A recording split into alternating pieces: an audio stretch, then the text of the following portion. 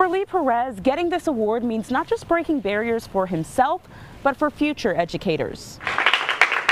As a teacher, Lee Perez is used to having all eyes on him. I congratulate you. Wednesday, those eyes were not just from students, but from fellow educators, congratulating him on being named Nebraska Teacher of the Year. I saw that this award did not have ESL representation, so that's one of the reasons why I applied. Perez teaches English as a second language at Alice Buffett Magnet Middle School. Our refugees, our immigrants, our migrant communities, they're our future lawyers, doctors. He says his role is about so much more than teaching a language. And then trying to navigate them around how culture works in the United States and how the school system works in the United States. It's just this win is for them. I mean, that's what that's what I do. What I do, and I love what I do. Perez advocates for better inclusivity in the education system. We face a huge teacher shortage right now, but we have a bigger teacher shortage with teachers of colors. He hopes this kind of representation doesn't stop with him either. And this isn't even the end for Perez because later this year he'll compete for National Teacher of the Year.